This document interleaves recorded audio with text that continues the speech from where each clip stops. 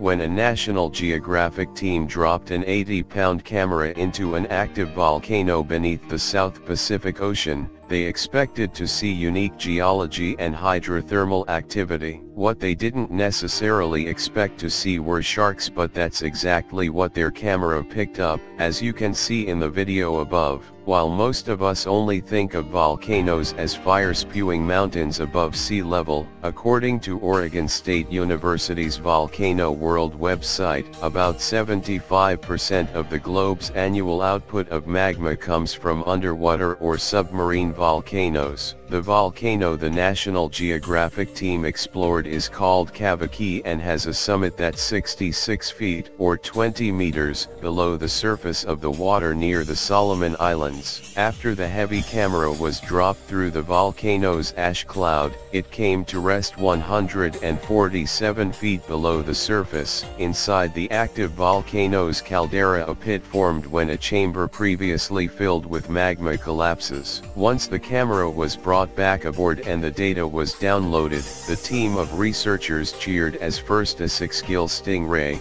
then a scalloped hammerhead shark and a silky shark swam into view.